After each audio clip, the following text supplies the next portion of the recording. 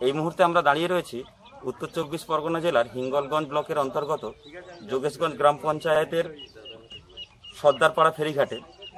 আপনারা জানেন, সাম্প্রতিক গতিতে পুরো সুন্দরবন জুড়ে জুড়ে ভয়ঙ্কর ধ্বংসলীলা চলেছে।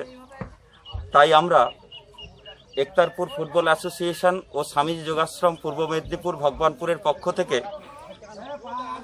এখানকার স্থানীয় সংস্থা পাটঘরা বিবেকানন্দ সেবা সমিতির সহযোগিতায়, সেই সঙ্গে আরও কয়েকটি এনজিওর সহযোগিতায় আমরা আজকে এখানে রয়েছি। যারা ক্ষতিগ্রস্ত হয়েছেন, সেরকম মানুষদের হাতে ত্রাণ সামগ্রী পৌঁছে দেওয়ার জন্য আমরা সেই উদ্যোগে প্রায় এখানকার ক্ষতিগ্রস্ত আটশো পরিবারের হাতে যৎসামান্য খাদ্য সামগ্রী তুলে দিয়েছি।